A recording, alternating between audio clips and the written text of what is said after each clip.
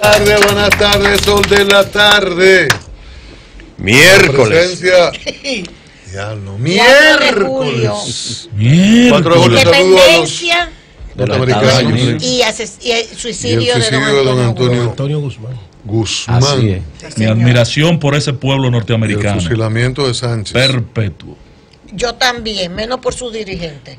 Ah, Eso es otra cosa. dos- Bueno, Y menos por los actos Por el pueblo Y- y- norteamericano. y las dos ceremonias de ayer de los chinos y Los los chinos y los norteamericanos. ¿Eh? ¿Y por qué así en paralelo? eh? ¿Por qué? ¿El ¿Qué qué? está los pasando? Las chinos tenían su fecha de celebración del establecimiento de relaciones y los norteamericanos tenían su celebración Pero de independencia. que El chisme como el que. Tengo el- otra El interpretación. chisme como que pica y se extiende. Pero Yo creo- yo creo- yo yo no creo- sé. Nosotros los prochinos fuimos a la, pri- Los a la ceremonia de los chinos. No, Estaban uno tres, cuatro lo mesas principales encabezadas por el canciller, ¿verdad? Sí. Y funcionarios empresarios principales del país. Sí.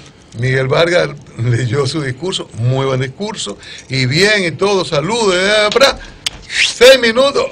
Para el de Bien. los gringos. Las cuatro mesas nos quedamos los los los pulgos, digo, los pulgos son los caramelitas, los, Yo ah, tengo- Bueno, yo- está bien. Pero yo tengo está la bien. información, esa es la parte light.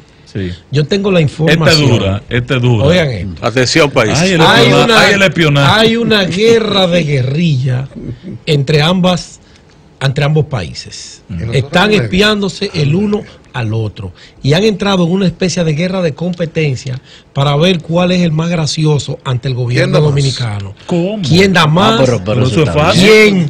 ¿Cuáles son los acuerdos que tenemos con este? ¿Cuáles son los acuerdos que aquel tiene con este? ¿Cómo podemos nosotros mejorar Ah, por eso esas fue que la condiciones? encargada de negocio Y- dijo, dijo que nosotros en ejercicio en libertad sin forzar a nadie. Sin forzar a nadie. Tranquilo, no, Entonces- no tratamos de imponer. Agrégale esto. Y usted Los verá. chinos no tenían eso en agenda. La semana pasada, eso no estaba en agenda de hacer esa actividad el miércoles. El servicio de inteligencia de los chinos, Ay, Se enteró. grave, Pedro. Que la de los gringos iba y le montaron una paralela a muy pocos metros de distancia un hotel del otro. ¿Para qué? Para dividir el pastel. Porque aquí ¡Diablo! Invitas a los funcionarios públicos Claro. e invitas también A los a empresarios. los periodistas y a los empresarios que somos los mismos. Y a los políticos. En cada estamento, los empresarios son el mismo grupo, los políticos son el mismo Ay, grupo cada partido madre. y los líderes Yo de opinión y periodistas somos los El mismos. canciller. Una especie de competencia. La ministra Sí. de la Juventud que habló. El ministro de Planificación que habló también. Donde los El chinos. amigo de Consuelo.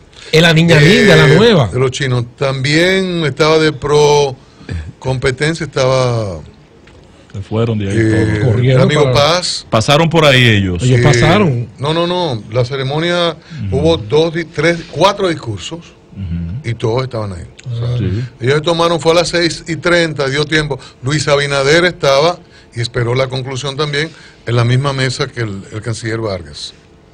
Con los chinos. El ministro de, sí, el ministro de Planificación, la ministra de la Juventud al lado, había muchos legisladores.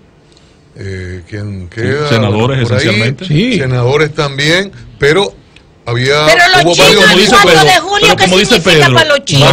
No, el establecimiento de el relaciones. No, relaciones. Decía Es lo- es lo que dice Pedro. Celebración, Eso no fue eso. Establecimiento de relaciones. Pues Ellos eso, sabían- eso es de los- chinos sabían Eso fue a para propósito. desvirtuar no la actividad De de los chinos sabían que era verdad. 4 de junio. Es verdad. Los chinos, sabían. chinos sabían que había ¿Y saben lo que significa eso para es los verdad, gringos en eso cualquier es parte del verdad. mundo que Y estén? sabe que lo hacen el Improvisaron. O sea que saben ya estamos de el nuevo en la Guerra Fría. Ahora, una nos va a guerra- aclarar es eso, una guerra quien nos va a aclarar eso es la ministra Ahora de la llamaría Mujer, guerra comercial. Janet Camilo, que está aquí con nosotros. Saludos. No, no metan a ministra, Janet en un ratito por acá. Muy buenas tardes a todos y a todas.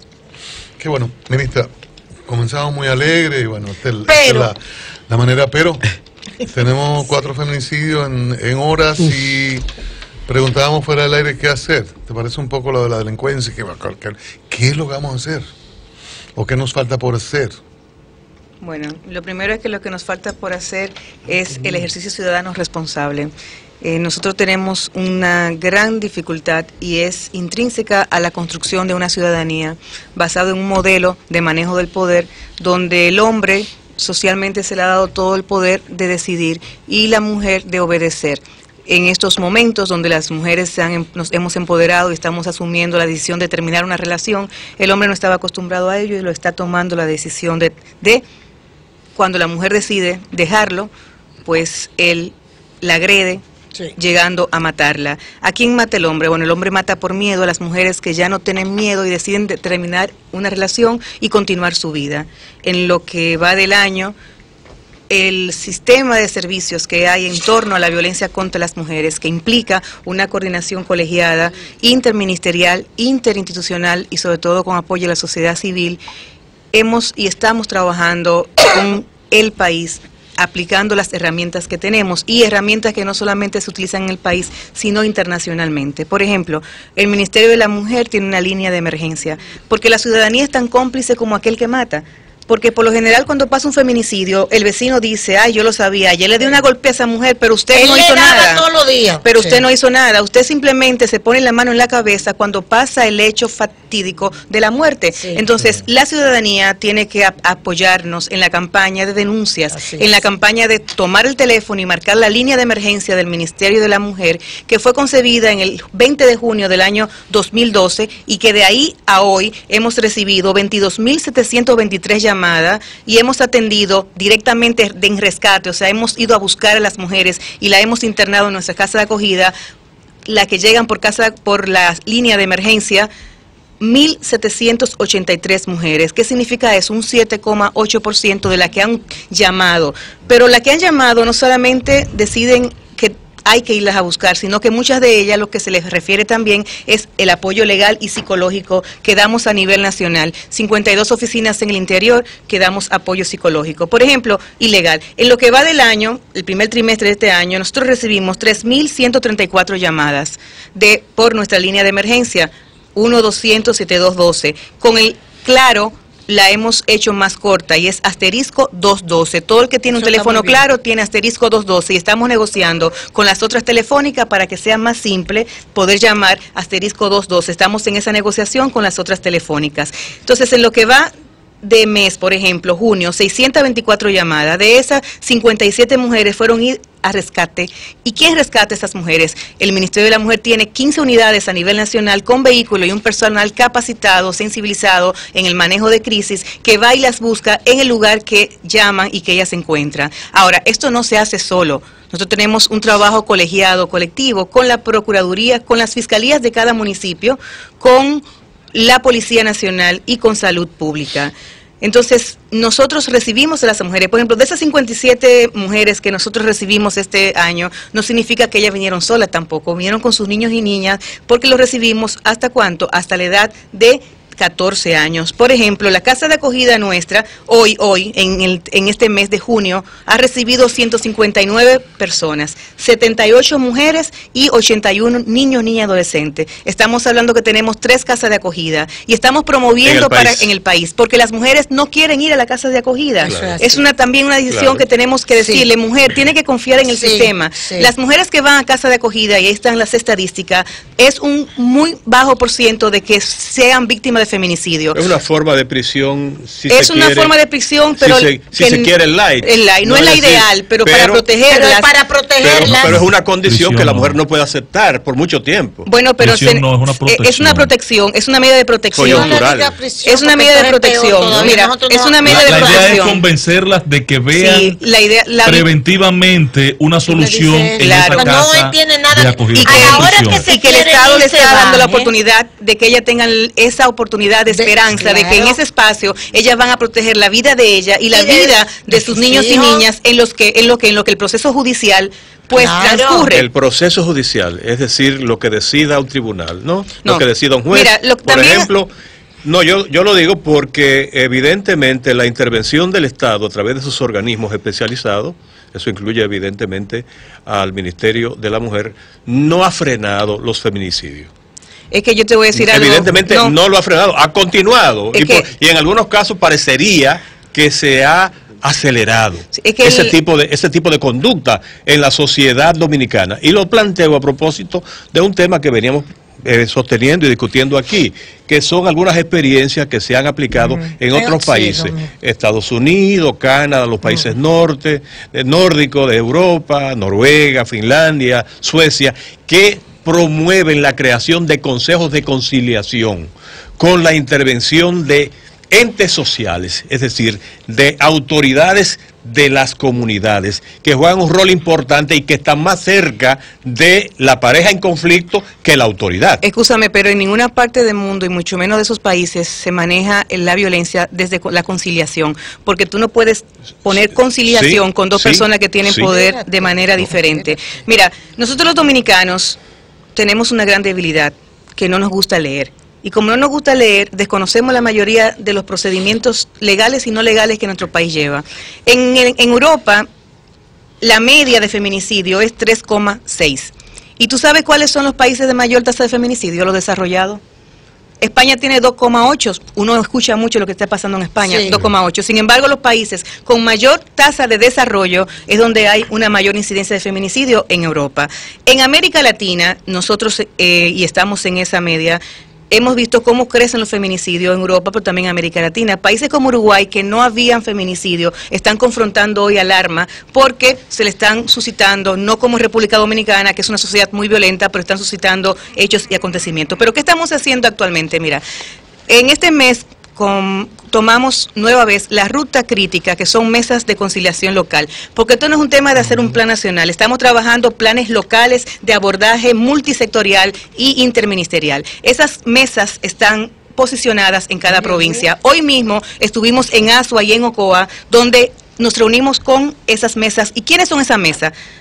La procuradora o el procurador, el fiscal de la provincia, el director de educación de la provincia, el director de salud pública de la provincia, el director de la policía de la provincia, el Ministerio de la Mujer, la gobernación y las ONG que trabajan el tema de educación con niños, niñas, adolescentes, con ANI y el tema de género. ¿Y para qué es esa mesa? Para hacer planes locales de cómo intervenir y también analizar los casos que nos están pasando. ¿Por qué? Porque los casos que pasan de feminicidio, el sistema tiene que abordarlo y analizar dónde estuvo el fallo o qué pasó que no se pudo detener esa, esa acción con la colaboración de la comunidad. Entonces, en- hasta el día de hoy, en la semana pasada, de las 32 mesas que hay a nivel nacional de cada provincia, ya hemos re- retomado y tenemos 14 mesas analizadas con un plan para los próximos dos meses. Pero, por ejemplo, San Pedro de Macorís. El lunes hubo un feminicidio y este martes era la mesa, tuvimos que suspender la mesa.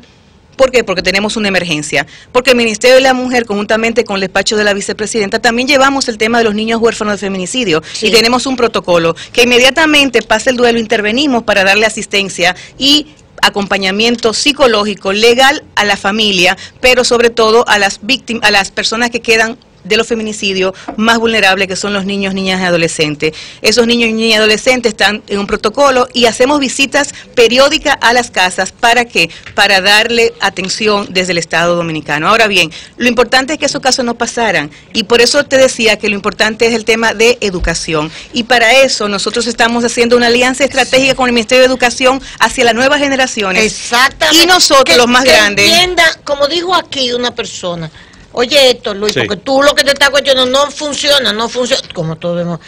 Lo que viene y sucede también es que en la medida en que la mujer ha ido tomando conciencia y libertad económica, independencia económica, que le dice, no, no te aguanto más.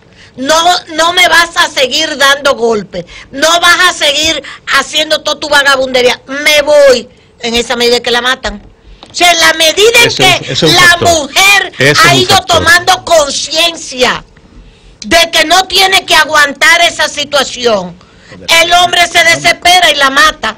Doña O Consuelo. Desafía una cultura Claro, y una conducta arraigada. Por eso son de las cosas que hay que ver. Doña Consuelo, dos cosas importantes que yo como ministra reitero y quiero reiterarlo por este medio, que además es algo muy importante, sobre todo para los adultos, los medios de comunicación, Así y es. cómo apoyan esta lucha de prevención. Y por eso siempre Así agradecido a este espacio que nos ha dado la oportunidad de dar la información. Mira, es importante a las mujeres, a la mujer dominicana, a ti que tiene cualquier situación de violencia, que busques ayuda, que busques ayuda de los profesionales del Estado, que estamos en la mejor disposición de apoyarte. Así y al hombre el mensaje es que detener la violencia también es un tema de hombres, Así que el hombre es. tiene también que entender a que tiene que valorar la dignidad de una mujer y que cuando tiene una situación que él no se siente bien, que también busque ayuda, porque el sistema damos ayuda a los hombres que llegan al sistema. Está así Pero probado. Por ejemplo, en la capital tenemos un centro, un centro para nueva masculinidad, pero el Ministerio de la Mujer está trabajando también con el tema de masculinidad.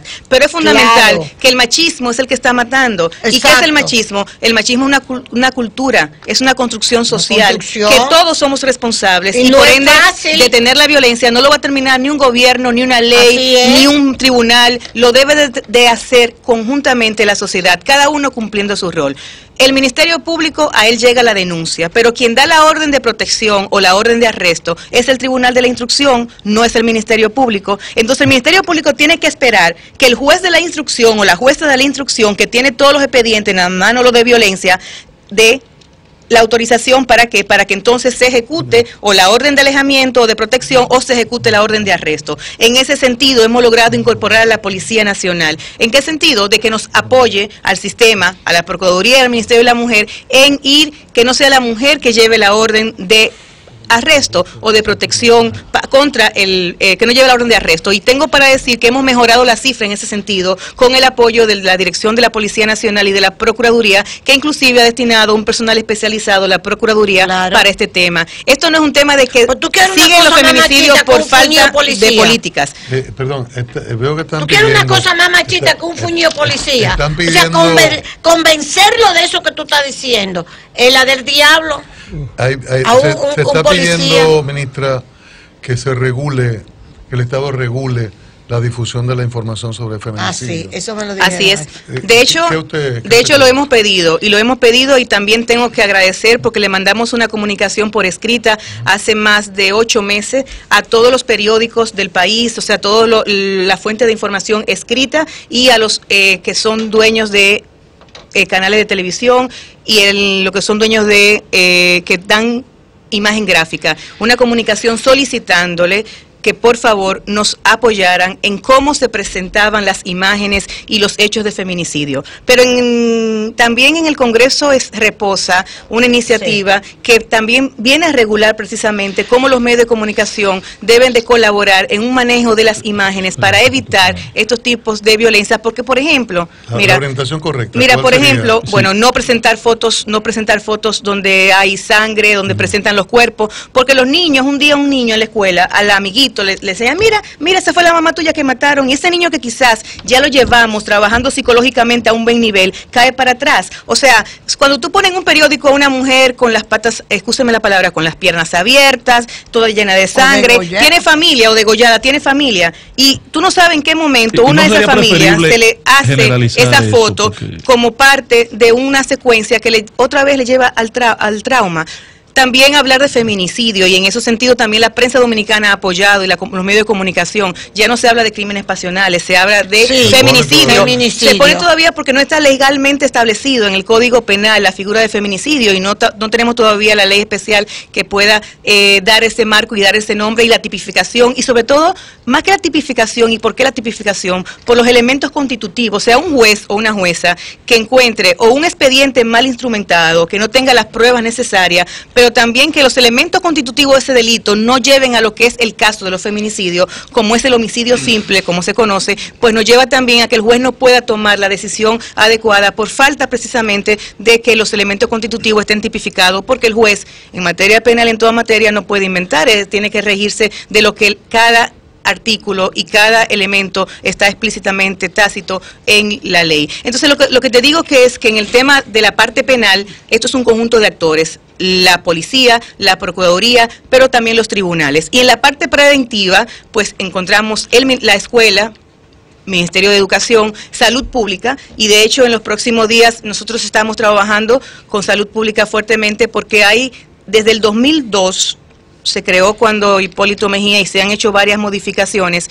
Eh, desde el 2002 existen los protocolos de detección de violencia en los hospitales. Con la pasada ministra tomamos tres hospitales modelos para aplicarlo y con el actual ministro ya nos reunimos con él y tenemos una reunión este jueves precisamente para articular la ejecución de que esos protocolos que existen se puedan aplicar en otros más centros de salud para que del 2012, ahora que van del tres- 2002. tres hospitales. Pero para que tú sepas, ahora que van tres hospitales, lo difícil es que tú no te imaginas, cada hospital es un mundo. O sea, lo que es la escuela y lo que son los hospitales, trabajar un cambio de cultura adentro, usted no se imagina lo difícil que es la cantidad de jefaturas que hay a lo interno, la cantidad de los mismos sindicatos que inciden. O sea, cambiar, hay que cambiar la cultura del maestro que enseña, porque quien está rep- repitiendo un modelo es el maestro que enseña al niño. Tenemos que trabajar con los maestros, tenemos que trabajar con los niños y niñas, pero también tenemos que trabajar con los padres. ¿Por qué? Porque si la escuela dice algo y en la casa Lo no pasa, contradice. lo contradice. Yo leí en esta semana ayer que me no es fue muy jocoso para mí una casa de un supermercado dio un anuncio eh, a papá. Eh, a papá, para el día de papá, regálale y aparecía ajo, cebolla con un por ciento. Y, pero lo que me di, lo- la frase que me gustó es que dice, la igualdad comienza en el hogar. O sea, es en el hogar. O sea, no basta que también enseñemos y eduquemos en igualdad en la escuela, si en el hogar no se practica. Entonces, por eso las juntas de vecinos son necesarias. Eh, nosotros comenzamos el año pasado y este programa nos apoyó el tema de trabajar alrededor de los barrios con la junta de vecinos. Trabajamos 18 barrios en Santiago, 16 barrios en la capital y 32 barrios en Santo Domingo Este. Este programa se ha continuado haciendo, se inició así, se ha continuado con quién? Un compromiso de las juntas de vecinos también involucrar. Y por eso con Fedomu firmamos un acuerdo, pero más un acuerdo que yo a veces digo, uno no es firmar un acuerdo, es que las autoridades entiendan que tenemos que trabajar todos conjuntos porque somos un lo solo asuman. Estado y lo asuman. En ese sentido estamos trabajando las ciudades seguras. El Ayuntamiento de la capital con el PNUD comenzó a trabajar el tema de ciudades seguras, pero queremos que no solamente sea el, ayuntamiento de la capital, sino que trabajemos todos los ayuntamientos del país con un modelo de ciudades seguras que implica ¿A qué hora van las mujeres a misa? A las 7 de la tarde. ¿Por qué calles van? Por las calles que están oscuras, sin tendederos eléctricos. Entonces el, el alcalde tiene que acomodar urbanísticamente esa ciudad para que la mujer salga y tenga la seguridad para ir a llevar al niño a la escuela, para ir al mercado, todas esas vías que ella utiliza, en qué condiciones están para poder garantizarle seguridad a la mujer. Entonces, eso es también con los ayuntamientos fundamental. La respuesta más cercana es el ayuntamiento. El ayuntamiento tiene que involucrarse para que las juntas de vecinos sean multiplicadoras de una cultura de paz. Pero es que los el 4%. ayuntamientos es por ley que tienen que involucrarse. Y el único ayuntamiento, mire a César Cabrera ahí. Diga, ¿cuál y la única vez que tuvo una política de género el ayuntamiento fue con el PRD en la, en la, en la, en la pasada gestión. Con el PLD. Quedó con, No. el PRD. Con el PRD. El. Aunque lo administraba el PLD, pero la... ¿Tú entiendes? O sea, No, la gestión de, que PLD. Roberto No, lo apoyó ese fue el y bloque todo del lo apoyó. PRD que insistió en que tuviésemos una política de género en Sí, el ayuntamiento y recibimos PRD. el respaldo de don Roberto, eso es cierto. Se- Roberto lo apoyó. Igual que ahora también David da. Por eso el ayuntamiento del distrito, como dice la ministra, ya tiene un acuerdo. Bien, David.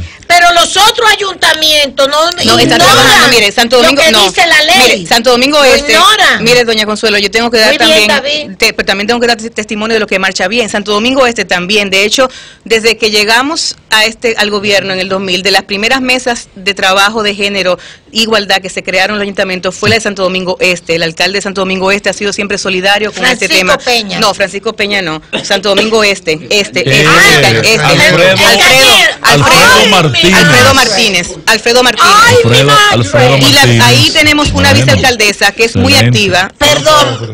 Tenemos una vicealcaldesa Y- que es muy Y activa. en los alcarrizos. Eh, los Alcarrizos también y en Santo Domingo Oeste también. De hecho, en este mes estamos llevando un programa que el BID está financiando de 100 días para analizar cómo están los servicios de violencia del sistema penal. Y en los estamos trabajando con Santo Domingo Este, con el Ayuntamiento de Santo Domingo Este, esta iniciativa que implica la Procuraduría, el Ministerio de la Mujer y el Ayuntamiento de Santo Que no es Domingo fácil, Este, con señores. apoyo también de la Agencia de Cooperación USAID. Pero Santo Domingo Norte también, y en el interior del país tenemos muchos ayuntamientos que se están sumando. ¿Qué- Atención, ¿Cuál es la idea?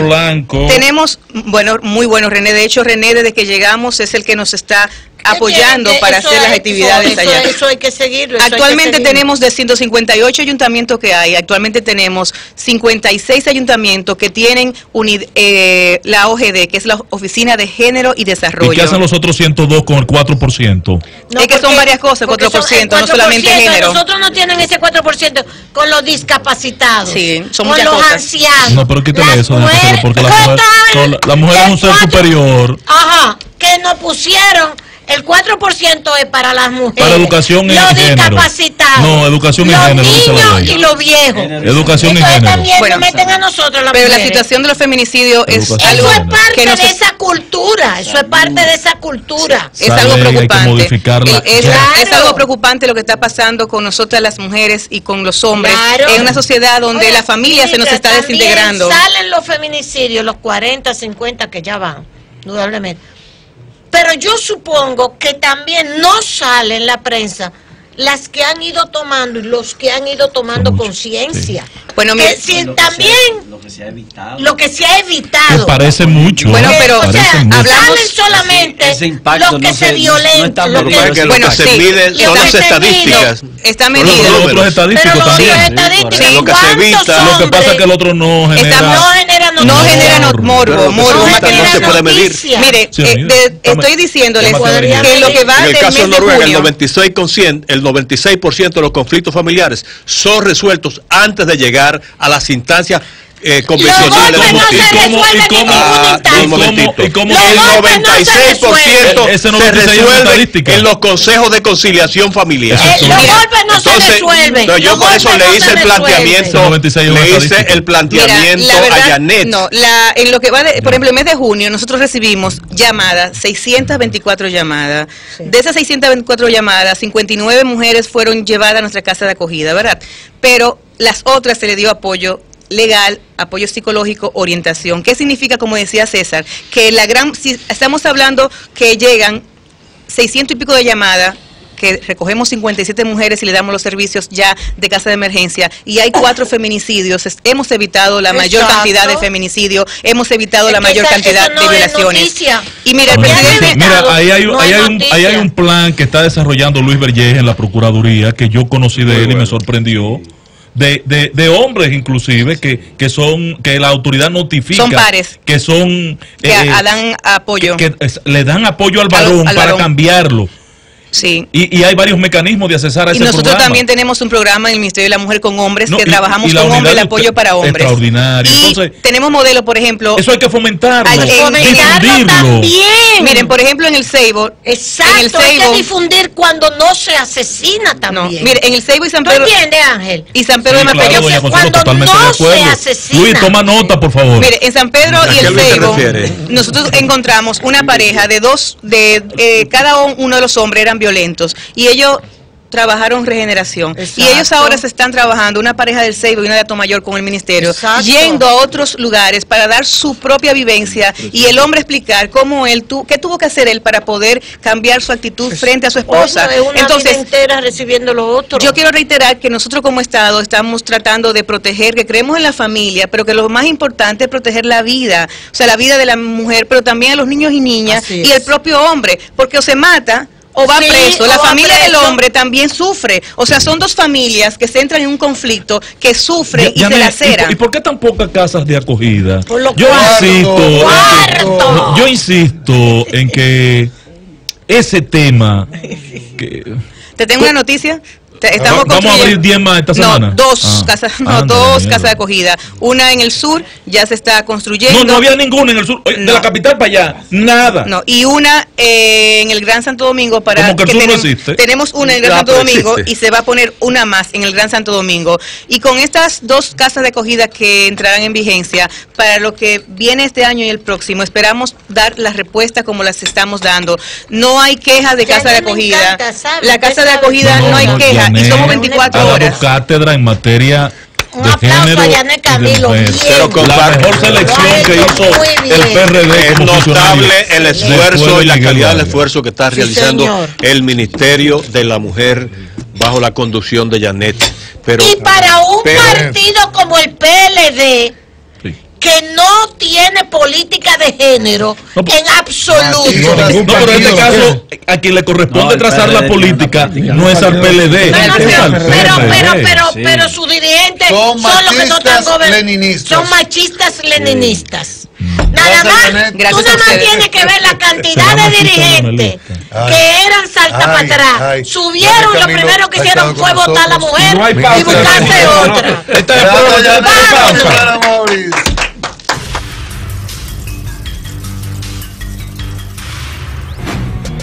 ¿Quieres sintonizar